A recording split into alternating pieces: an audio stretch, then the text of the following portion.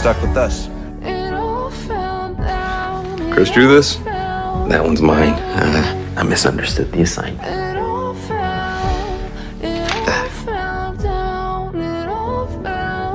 I don't want to miss anyone else. And until that happens, you still got me. Because I'm not going anywhere. All right, cowboy, go get him. You act like you're expendable, but you're wrong.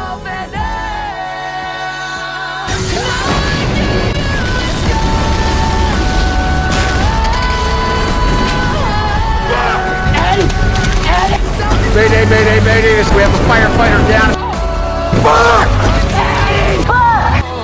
It's in my will if I die to become Christopher's legal guardian. I think it might have been better for him if I was the one who got shot.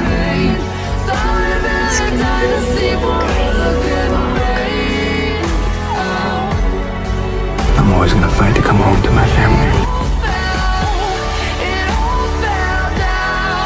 No pulse. Fuck, what happened to Eddie was not your fault. No, I was just the guy standing there when it happened who couldn't do anything to protect him. It's like the universe is screaming at you and you refuse to listen.